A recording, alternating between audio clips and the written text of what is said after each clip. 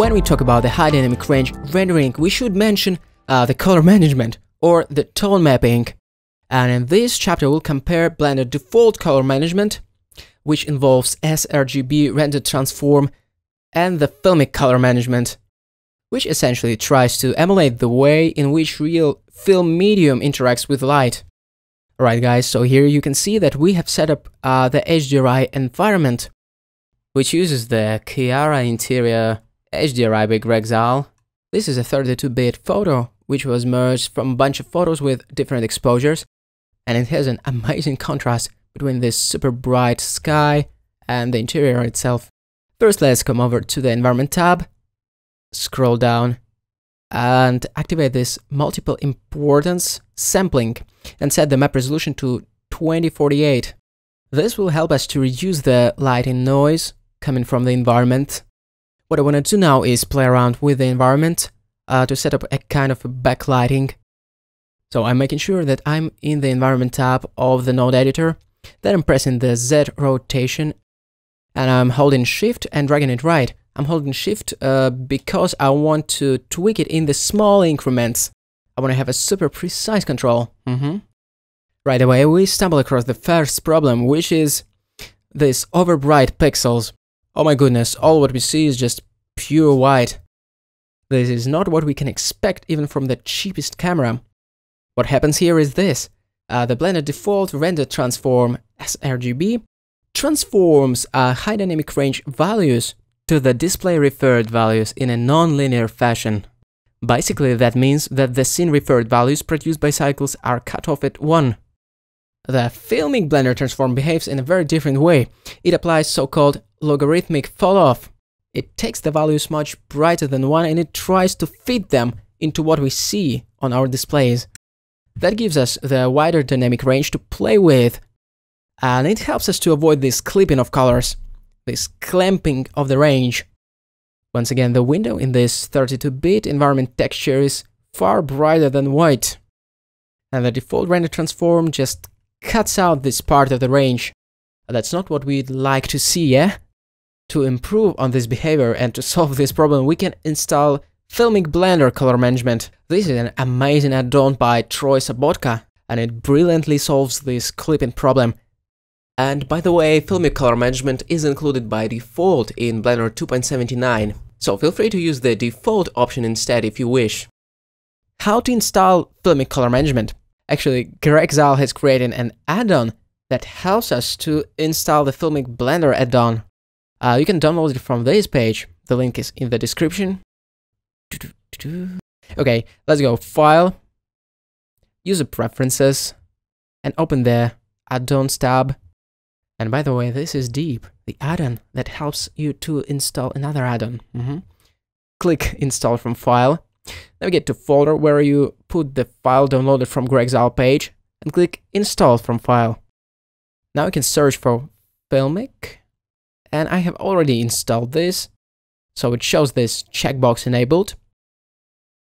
Okay, and after you install it, in the Color Management tab, you should have this kind of menu that says install Filmic Blender.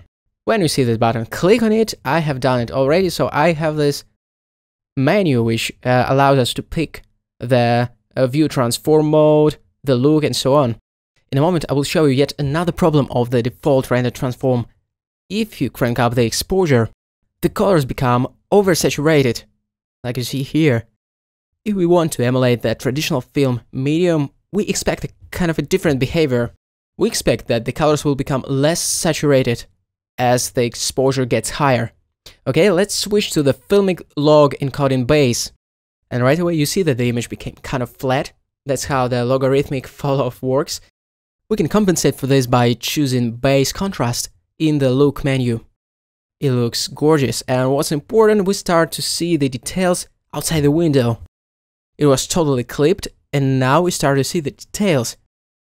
Now we can tweak the exposure, we can decrease it. And when you set the value to minus 2, it becomes even more clear. Here I made a quick comparison at the exposure set to minus 2. On the left you see the default color management, and on the right you see filmic stuff. And of course, filmic shows a wider range of color values. That's exactly what we need, especially when we work with the high dynamic range stuff like HDRI environments and with the image-based lighting. Okay, so let's crank up the exposure. And hooray, the colors no longer get oversaturated. That's another little thing that brings us closer to photorealism, I should say. These are all very small steps, but together, when you're dealing with HDRI, with image-based lighting, with tone mapping or render transform, these little things really matter. Once again, let's take a look at these examples. Uh, we are cranking up the exposure, and the standard tone mapping produces the oversaturated colors, while the filmic one just keeps it slightly desaturated. And of course, we enjoy the benefits of being able to display more information, more color data in the image, which is always good. It's so good that I want to start singing right in the middle of the tutorial. Is that okay? I don't think so. It's kind of weird.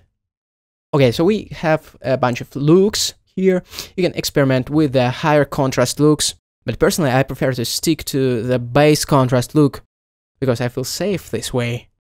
I'm not afraid of blown out highlights and stuff like that. Also, we have a bunch of other things like a grayscale mode, which occasionally may come in handy and also we have this thing that is called false color. What it does, it assigns the color map to the pixel values, and the hotter is the pixel, the more reddish it becomes. In this part of the image, uh, the clipping can occur.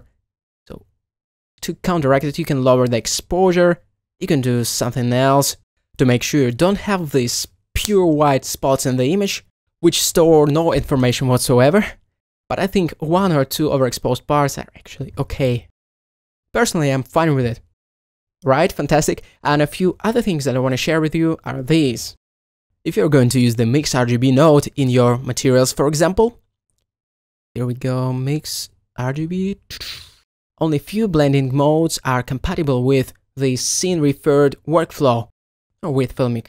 Add is okay, multiply is okay, subtract is okay. Add, multiply, and subtract won't mangle your color data. But overlay and other so-called Photoshop blending modes will mangle the color data. And the other important thing uh, is that if you're gonna use the color balance node in the compositor, don't use the standard lift gamma gain mode, because basically it ruins the math of cycles. Just use offset power slope. This node will allow you to accomplish the same kind of things uh, color grade or image or whatever, but it won't ruin the colors. Okay, folks, that was a brief and hopefully very enjoyable introduction to tone mapping in Blender, to color management in Blender, and that's how filmic color management helps us to get more photorealistic results with a wider dynamic range. Oh, and feel free to visit creativeshrimp.com to get the full course and press thumbs up and subscribe.